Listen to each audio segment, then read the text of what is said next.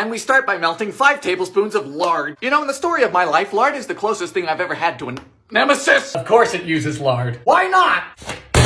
Honey, call the police. Add one egg of lard. What are you feeding your chickens? You happy? Sister. Ah! Starting off on the right foot here with a half cup of lard. Hmm. If I cut off my feet, do we still have to do this? Ah! This stuff is great, you know. You can run your tractor on it. What is it with dead people and their obsession with this? What do you think we fry these in? Lard! Let me get my lard bucket. Lemon lards with liver and lard. Now we heat up a skillet with what? A suitable amount of lard. There is no suitable amount of lard. Never has been, never will be. A half cup of lard. Just give up. Don't make a cake. Lard, 100% solid pig fat, a disturbing concept, and we're going to fry a dessert in it. And now we heat two pounds of lard for deep frying. Pounds! Just get out of the box, please.